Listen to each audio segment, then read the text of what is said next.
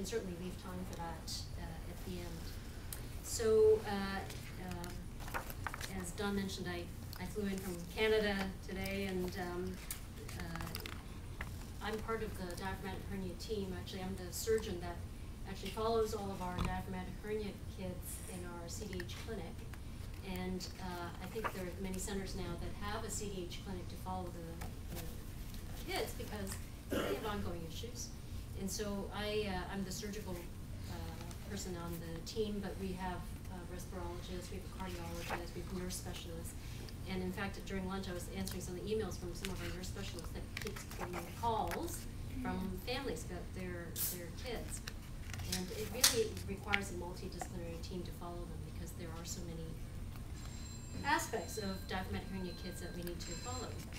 So I, I owe a special thanks to uh, my colleague and mentor, Dr. Langer, who actually has been on the cherubs board for the past 10 years and has a very keen interest in cherubs and all, all of our diaphragmatic hernia patients. So just as an overview, I just, as I said, uh, covered the diaphragmatic hernia surgery, the repair part, uh, for, for, today's uh, presentation. I'll talk a little bit about diaphragmatic hernia history because uh, the history of medicine is an interest of mine, but um, certainly even the last 30 years of how we fix diaphragmatic hernias has changed. Uh, the timing of our surgeries, the types of patches, people talk about patches, uh, the approaches to our repairs, and some of the cautionary tales uh, that uh, I've come across. And also, you know, just so that I can, you know, be, uh, you know, if I could wish the world, you know, dream big, what I see the future of CDH repair would be. So uh, please feel free to stop uh, anytime, ask questions.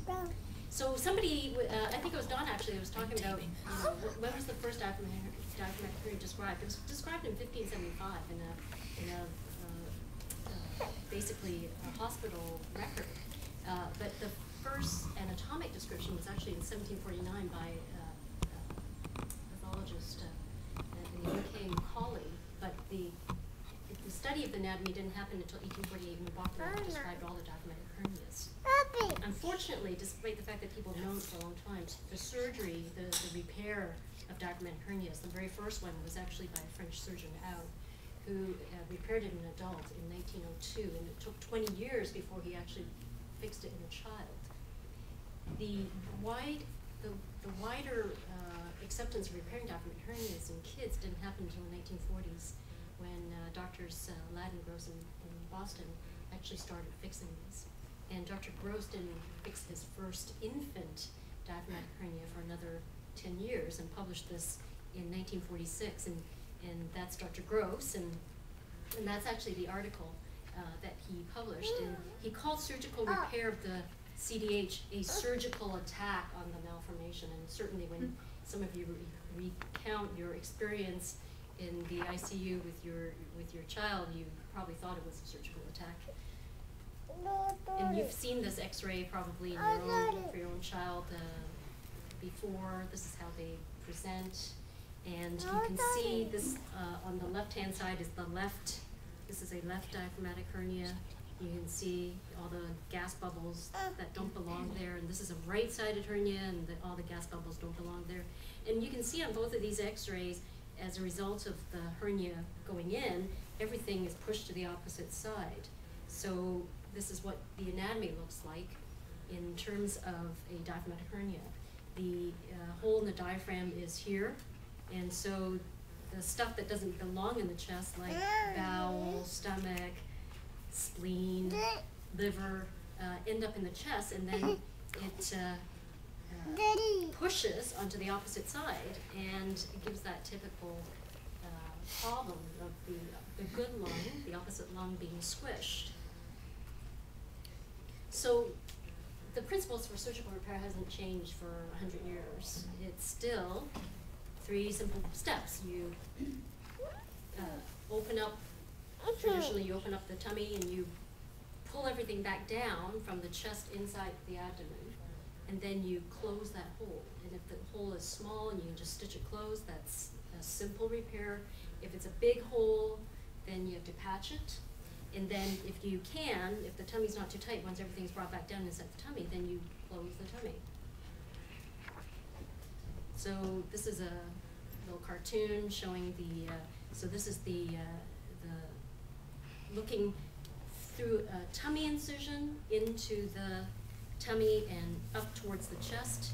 So this is the hole in the diaphragm.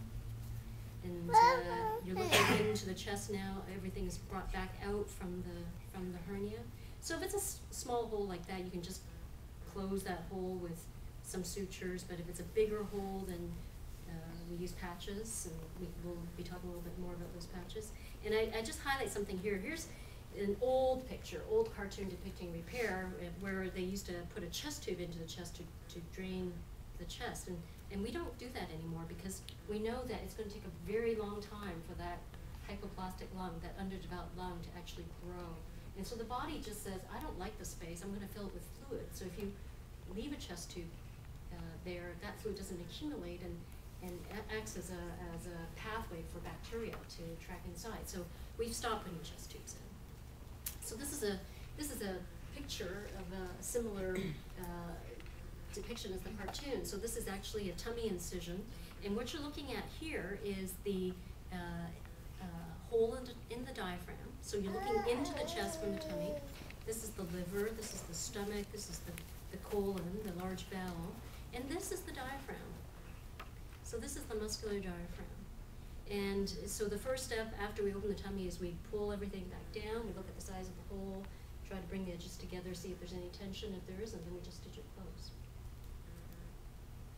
So what's changed over the last thirty years in terms of diaphragmatic hernia repair? Well, although the principles are the same, what's changed is when do we do the repair? So the timing of the repair, the tools that we have for uh, fixing diaphragmatic hernias, and also the types of patches I, I mentioned earlier. So back in the seventies and eighties when um, we were uh, seeing diaphragmatic babies, we were under the impression that the babies were sick because everything was squished into the chest and the good lung was being squished and everything that was being squished was causing the, the problems for the baby. So they weren't breathing well because the good lung was being squished. Their right heart pressures were high because the heart was being squished. Mm. So though that belief led to diaphragmatic hernia repairs being done emergently. So as soon as the baby was born, it had to be, the repair had to be done within the first four hours.